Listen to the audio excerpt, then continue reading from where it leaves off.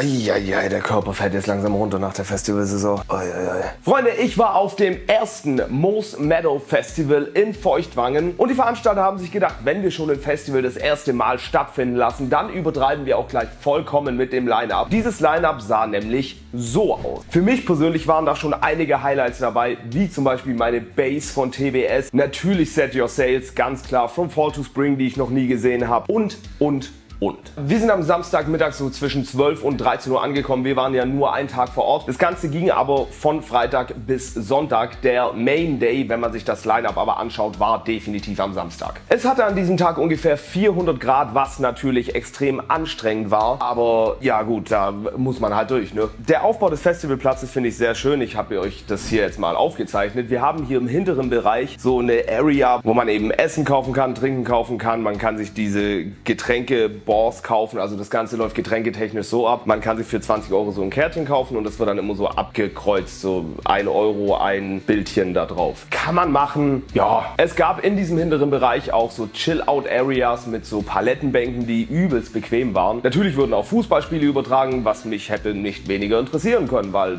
ich mir ist Fußball echt mega Latte. In der vorderen Hälfte des Bereiches hatten wir dann den Front-of-Stage-Bereich und natürlich die Stage an sich, logischerweise. Die Merchandise-Stände waren da an der Seite, es gab nochmal einen Bierstand, also man war voll versorgt. Hydriert bleiben war natürlich extrem wichtig, aber die Stimmung war trotz der Hitze doch sehr gut und trotz der Menge, die eben an Leuten da waren, weil klar, wenn du jetzt an so einem heißen Tag eine Veranstaltung Open Air veranstaltest, dann sind eben nicht gleich um 13 Uhr alle Leute da. So, das ist ja auf jedem Festival eigentlich fast so. Als wir gekommen sind, haben dann gerade Accused gespielt. Die haben extrem Spaß gemacht. Das war geil, da kann man gar nichts sagen. Was mir aber direkt am Anfang aufgefallen ist, als ich den Zeitplan angeschaut habe, wir haben hier zwischen den Bands 15 Minuten Zeit gehabt für den kompletten Bühnenumbau und den Line-Check. Da dachte ich mir schon im Vorhinaus, oh, das könnte glaube ich ein bisschen knapp werden. Zumal ich selber schon mit der alten Band auf Festivals Open Airs gespielt habe, wo das gleich geregelt worden ist mit den 15 Minuten und das klappt nie. Deswegen kam es dann auch gegen Ende leider so, wie es kommen musste und es wurden den letzten Bands, also TBS und Venues, Zeit gestrichen. Was ich persönlich extrem schade finde. Ich habe da aber auch so ein bisschen einen, einen Softspot, weil eben, wie gesagt, uns mit unserer alten Band ist schon exakt das gleiche passiert. Das Problem, das da eben mit sich kommt, ist, dass wir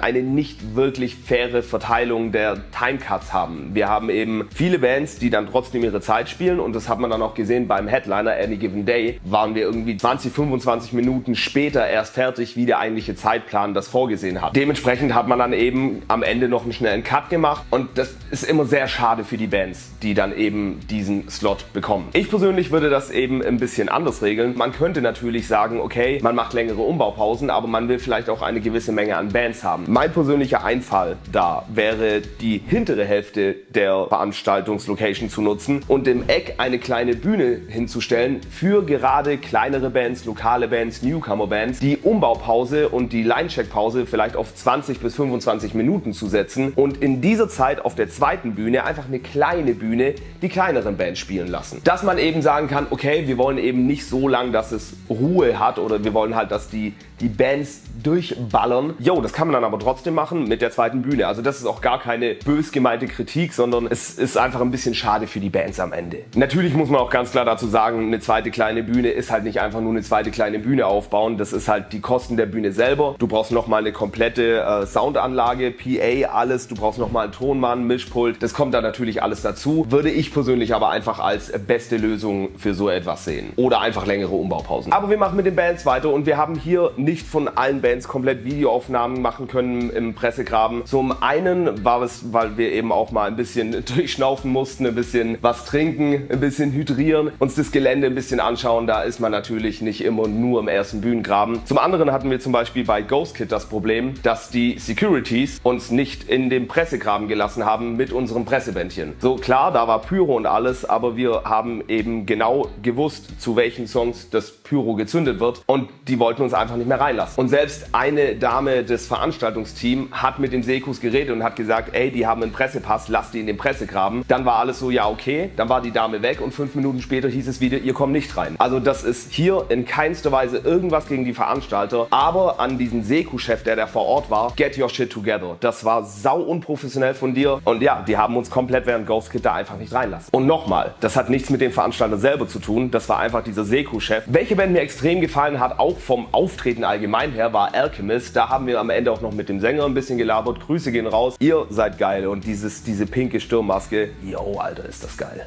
Andere Bands, die wir uns eben so angeschaut haben, aber halt nicht komplett drin waren, sondern auch einfach mal ein bisschen zum Durchatmen, einfach mal ein bisschen die Bands genießen. Was mir alles gefallen hat, Slow, Disaster Area, Half Me, Venues, die ich sowieso liebe, Facing Fears und These Nuts. These Nuts nur ein bisschen, denn während These Nuts hatten wir ein bisschen Zeit mit TBS und das seht ihr jetzt. Wir sind hier auf Music Fort und wir haben hier die Jungs von TBS.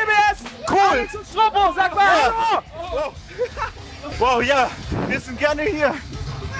Wer kann einen Rückwärtssalto? Alex. Ich will auch einen Rückwärtssalto machen. Wir sind hier auf dem Meadow Festival. Ja, ja, ja. Das findet das erste Mal statt. Wenn ihr das erste Mal ein Festival machen würdet, wie würde das heißen und welche Bands würdet ihr buchen? Altrip. Mein eigenes Festival würde heißen Cool Music with Friends. Ja, ja, Und wen würdet ihr buchen? Wer wären die Friends? Meine Mutter und mein Vater. meine Oma. Krasses Line-Up. Ich will ein Salto machen. Okay. Ich mache das heute auf der Bühne. In den Wellmer hier. Wir sind schon über 14. Wir haben gerade gehüpft. Wir sind gehüpft zusammen und hatten den Spaß unseres Lebens. Amen. Ja. Die Hüpfburg war ab 14. Hi. Also nochmal, nochmal. Wir wurden gerade aus der Hüpfburg äh, geworfen. Weil wir, weil wir noch nicht 14 sind. Ja, aber das stimmt ja nicht. Ich habe Ihnen mal meinen Ausweis gezeigt. verschüttet hat. Nicht mit TBS! Eure letzte Single, Bauchtasche. Dieses wunderschöne Exemplar hier. Ist ja schon eine ganze Weile her. September. Wann, wann können wir die nächste Single erwarten? Wir haben uns doch aufgelöst. Siehst du die Hüpfburg da hinten?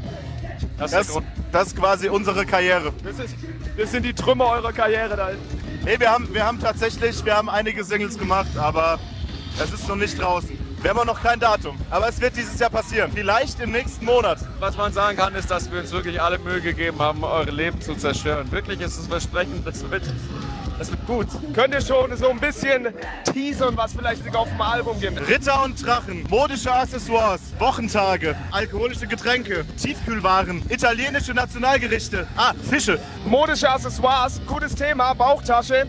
Ihr habt einen Trend in Deutschland wieder gesetzt. Alle tragen Bauchtasche wieder, wegen euch. Was ist das nächste modische Accessoire, das ihr wieder in den Trend bringen werdet? Sportautos. Immobilien. TBS Sportautos und Das Häuser. ist dann der TB, TB Sportwagen. Könnt ihr schon ein bisschen aus dem Nähkästchen plaudern, was das neue Album angeht, so titelmäßig, gästemäßig? Oh nein. Es wird, es wird weiß. Es wird weiß. Und die Lieder sind cool. Ihr habt ja in Mannheim euer Heimspiel dieses Jahr. Das große Heimspiel. Zigtausend Leute, Tickets in der Videobeschreibung. Habt ihr schon Vorbands am Start? Haben wir schon? Nee, nee, nee, nee. Ich merke gerade, wir können überhaupt nichts sagen, verraten. Nee, wir dürfen- wir sind heute so die langweiligsten Interviews Ja. auf Festival. Wie geht's euch? Man kann vielleicht auch sagen, dass die Vor also diese Ports, Die Vorhaut. die haben beide was gemeinsam. Tiere. TBS Vorband. Ja, ja. Bloodhound Gang. Ja, to to tote, tote Tiere.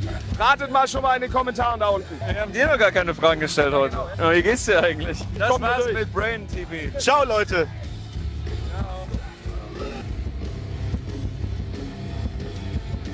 Set Your Sales waren gewohnt stark. Hier war auch das erste Mal am Tag dann Pyro mit dabei. Jedenfalls das erste Mal, dass wir es direkt gesehen haben. Da stand noch das Pyro auf der Bühne und man hat, während die Pyro gezündet worden ist, gesehen, oh wow, das geht bis an die Lampen oben hin. Ich hoffe, da passiert nichts. Es ist nichts passiert und äh, man hat auch sofort reagiert und hat auch während dem Eck dann, während Set Your Sales, kein Pyro mehr gezündet und hat das Pyro dann eben in den Bühnengraben gesetzt. Set Your Sales aber einfach wie immer gewohnt stark. Das ist eine saugeile Band. Wenn ihr Set Your Sales nicht kennt, zieht ihr euch rein. Definitiv definitiv. From Fall to Spring fand ich auch extrem stark. Ich finde es sehr mutig, wenn eine Band in diesem Genre In the End von Linkin Park gecovert, wenn man schon in diesem Genre unterwegs ist, weil da achtet man eben deutlich genauer nochmal drauf, wie das klingt. Hat mir aber im Großen und Ganzen alles sehr gut gefallen. From Fall to Spring, saugeile Band, hat mega Spaß gemacht. Rap-technisch sind übelst talentiert einfach. Also rap-technisch hat mich das wirklich umgehauen. Umgehauen. Dann kamen Ghost Kid und ich habe Ghost Kid bisher einmal gesehen als Voract von den Emil Bulls. Fand ich ganz cool. Ich muss aber sagen, Ghost Kid ist glaube ich eine Band, die funktioniert Open Air deutlich besser. Also ich weiß nicht genau, was es war, aber ich fand jetzt hier auf Meadow eben Open Air mit Pyro und alles, da hatte das einfach viel mehr Energie als in einer Halle. Jedenfalls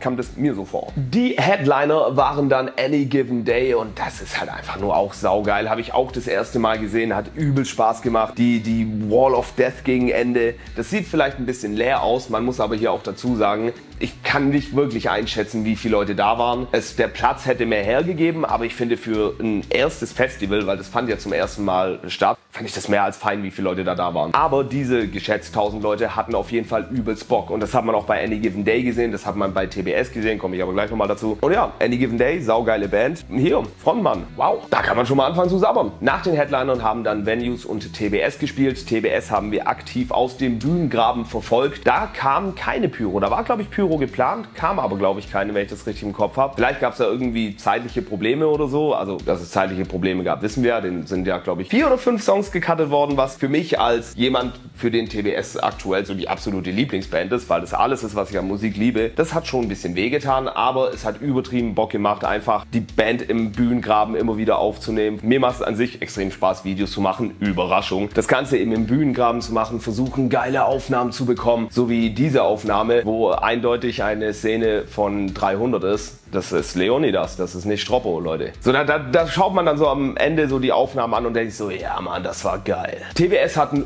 ultimativ Bock. Ich habe die selten mit so viel Freude und Spaß erlebt. Ist nicht wahr eigentlich immer, aber diesmal haben sie ein bisschen anhinschter gewirkt irgendwie. So, da ist dann auch mal zwischendrin eine Ansage für 5, 6 Minuten gekommen und irgendwann die Realisierung, oh, warte mal, da kommt ja noch ein Song. Man hat sich coole äh, Sachen auf der Bühne überlegt, wie zum Beispiel eine Bierdose, die über eine Angel in das Gesicht von Stroppo gehalten wird, was mäßig Akustik funktioniert hat. Und ich habe wirklich das Gefühl gehabt, vielleicht lag es auch daran, dass es Open Air war. Ich habe TBS auch noch nie Open Air gesehen, aber ich habe Stroppo noch nie so eskalieren sehen live. Das war, das hat wirklich Spaß gemacht. Das ist wie wenn man so einen Haufen Kinder beim Spielen zuguckt bei TBS. Die haben Spaß, man hat Spaß beim Zugucken. Dass das Publikum Spaß hatte, hat man mehr als gesehen. Ey, und ganz ehrlich, TBS werden in den nächsten Jahren noch so große Mengen ziehen. Ich persönlich habe das Gefühl von meiner Sicht her, wie ich das Ganze wahrgenommen habe, dass bei TBS auch am meisten los war und das Publikum, glaube ich, auch am feierwütendsten war. Man muss muss aber auch sagen, temperaturtechnisch war es eben zu dem Zeitraum auch am angenehmsten vom ganzen Tag. Unterm Strich hatte ich ein sehr schönes Most Meadow Festival, das erste seiner Art. Also es fand halt das erste Mal statt. Ich bin sehr gespannt, wie das Ganze nächstes Jahr aussehen wird. Das Problem ist natürlich immer so mit Juni-Festivals. Der Juni ist komplett voller Festivals. Ich habe allein am Meadow-Wochenende drei Festivals, wo ich gerne hingehen würde. Drei. Sowas, sowas fuckt mich dann schon ein bisschen ab, dass, dass man halt einfach unmöglich alles mitnehmen kann. Aber ja, Festivalveranstaltung Veranstalter, bitte setzt doch nicht immer alles in Juni.